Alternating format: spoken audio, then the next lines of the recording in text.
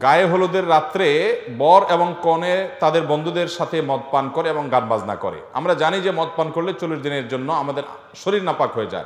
এই নাপাক অবস্থা বিয়ে করলে বিয়ে হবে কিনা?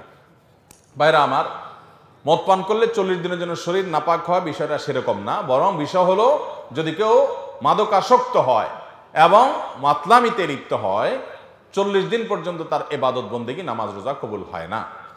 এবং মদকে আল্লাহ রব্বুল আলমিন হারাম করেছেন, এটা জঘন্য হারামগুলোর একটা। এই হারাম কাজে লিপ্ত হলে তার জন্য শাস্তির ব্যবস্থা করে রেখেছেন আল্লাহ তালা কেউ যদি শুকর খায়, তার জন্য শাস্তির ব্যবস্থা ইসলামে রাখা হয় না যে তাকে এতগুলো বেত্রাঘাত করতে হবে। এরকম কোনো দণ্ড, বিশেষ কোনো দণ্ড শরীয়ত হদ দেয় নেই। তাজির আছে, অর্থাৎ ইসলামী রাষ্ট্রের বিচারক, তিনি কোনো বিশেষ ফয়সালা করে কিছু শাস্তিমূলক ব্যবস্থা নেবেন, সেটা ভিন্ন বিষয়। কিন্তু সুনির্দিষ্ট কোনো হদ ঠিক করে নেয় শরীয়ত।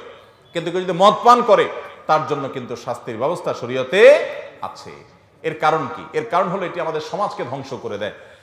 আজকাল আমাদের তরুণদের মধ্যে ওই যে বললাম, ইমানই চেতনা, ধর্মীয় কাজকাম থেকে তাদেরকে দূরে রাখার যে একটা ষড়যন্ত্র, শিক্ষা থেকে তাদের ধর্ম বিদায়, বিনোদন থেকে তাদের ধর্ম বিদায়, ক্রীড়ার নামে ধর্ম থেকে বিযুক্তি, এভাবে নানাভাবে ধর্ম থেকে দূরে সরাতে সরাতে এখন তরুণদের মধ্যে এমন একটা উদ্ভট মানসিকতা তৈরি হয়েছে যে বিয়ের আগে মদ পান করে মাতলামি করতে হবে। সারা জীবন যে যে গুণা করে না, সেও সে গুণায় লিপ্ত হয়।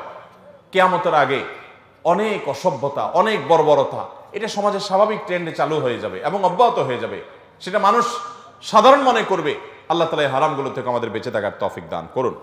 কেউ যদি ব্যাংক থেকে ঋণ নিয়ে বিদেশে যায় এবং যাওয়ার পরে টাকা উপার্জন করে, সে টাকা উপার্জন কি হালাল হবে?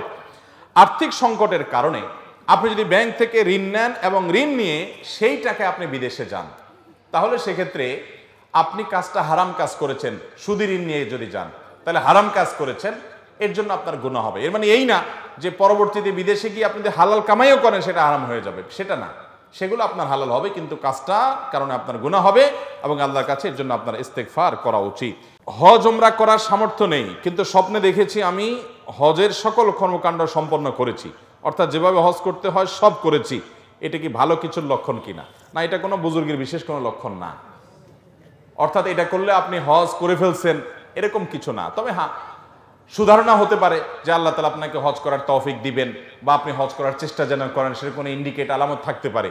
এটার মানে আপনি এটা মনে করেন না যে আপনার হজ করার সব আপনি পেয়ে গেছেন। স্বপ্ন দেখলে, কোনো ভালো কাজ করতে দেখলে ওই কাজের সবও হয় না, আর কোনো গুনাহের কাজ স্বপ্নে করতে দেখলে ওটা কোনো গুণাও হয় না। স্বপ্নে কি দেখেন না দেখেন, ওটার উপর ভিত্তি করে কোনো সব বা গুণা লেখা হয় না।